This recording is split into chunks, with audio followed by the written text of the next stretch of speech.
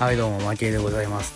今回はねこちらのねミニムメグメグにフリーメダルが100枚もらえたということでこちらを回していくんだけどえっと例の何て言うんだろう例のっていうか某コンパス配信者の方だったりも3000枚くらいやって理想のメダルがついたのが本当に終盤だったり僕の友達も今100枚もらってでやったんだけど全然出ないかったりでやっぱりね厳選ね厳しいんだよね。確率明記がないからちょっときついしなんか何十枚使って確定でこれ出ますよとかそういう機能もないから本当に厳しい機能なんだけどここでね出したらやっぱりそれあれがね持ってる男なんじゃないかなって思います。ということでやらせていただきます狙うは。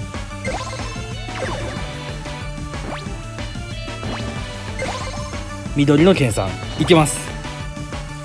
どうしよう。いやいや行きましょう。はい。怖かった。緑の計算来たら勝ちです。このはい。メグメグが作ったんだよ。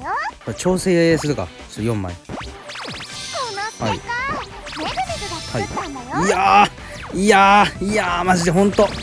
別のについてくれ。うわは？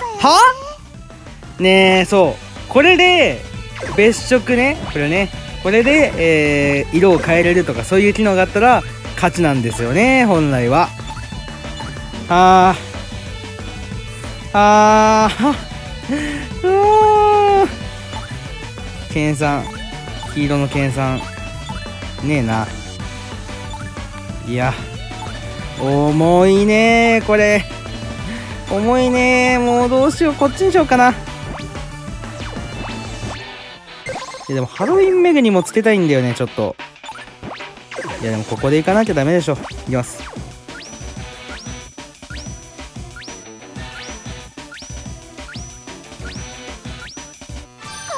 このステッカ3すらつかない？やばくない？本当に。おおアッシさんはさっき見た。同じ色でね。しかも緑の剣さん。緑の剣さん。緑の剣さん。緑の剣さん来ないね。緑の剣さん。緑の剣はダメ。剣さんがいいの。緑の剣さん。やべえ。もう早すぎるってうー。中世って来ないよすごいってマジでこれ。このゲームマジか。ね。ねえ。こよこよこれであの緑の剣さん来たらめちゃめちゃメグ使うからお願いします。残り30回